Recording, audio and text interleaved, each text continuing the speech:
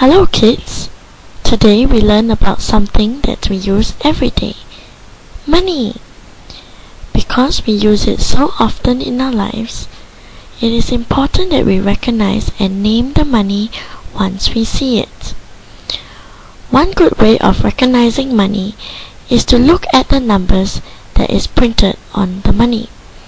Before we do that, let's revise some numbers. This number chart shows numbers 1 to 100.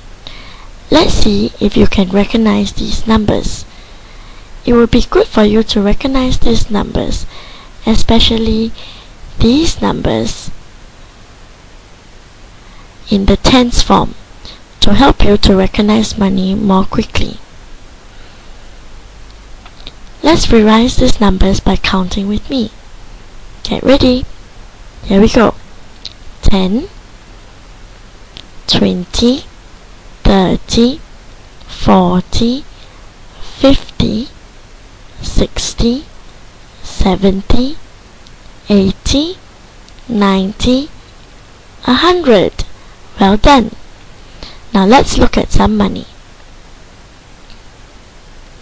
Money comes in two forms. Money that is made from round metal shapes called coins, like these.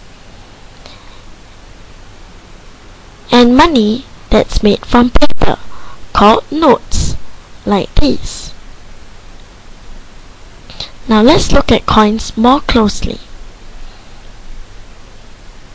We name these coins by saying the number that is printed on them.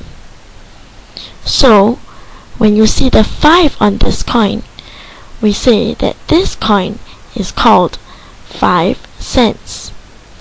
In the same way, we say that these coins are 10 cents,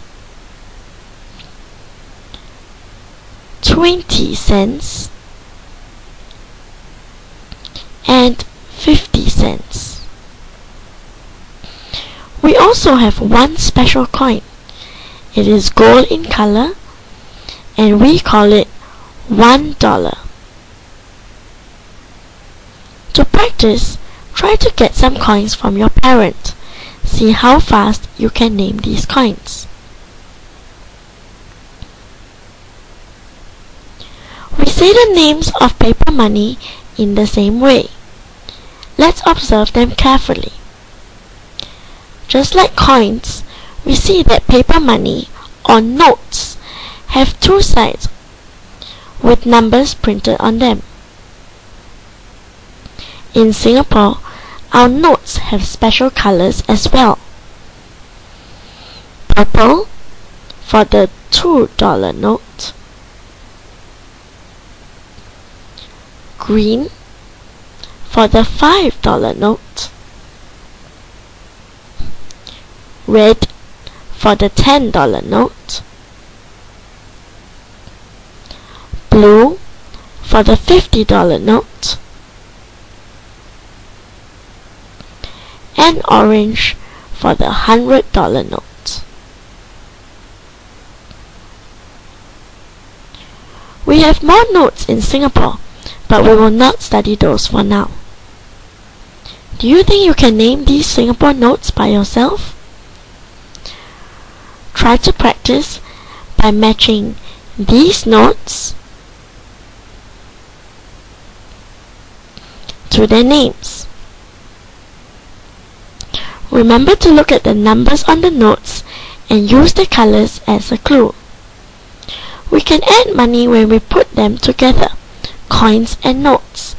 You will learn how to do that in another lesson. That's all for now. Practice hard and be a money expert soon. Bye.